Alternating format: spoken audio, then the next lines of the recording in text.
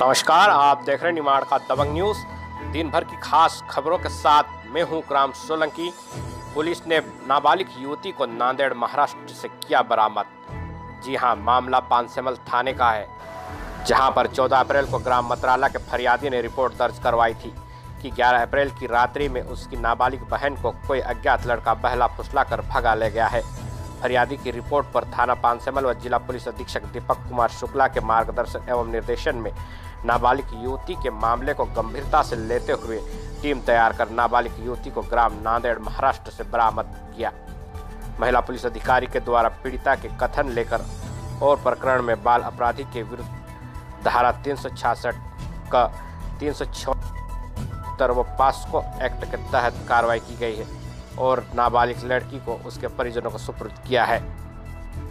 दिनांक 11 चार 2022 को ग्राम मतराला के निवासी ने एक सूचना पत्र सूचना दिया कि उसकी नाबालिग बहन उम्र 17 वर्ष की घर से कई बिना बताए चली गई है।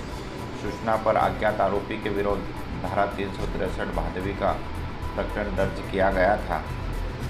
मामला नाबालिग का होने से श्रीमान पुलिस अधीक्षक महोदय, अतिरिक्त पुलिस अधीक्षक महोदय एवं एस महोदय के निर्देशन में मामले को गंभीरता लेते हुए एक टीम का गठन किया गया एवं लगातार सर्चिंग की गई एवं अज्ञात आरोपी का पता लगाया जाकर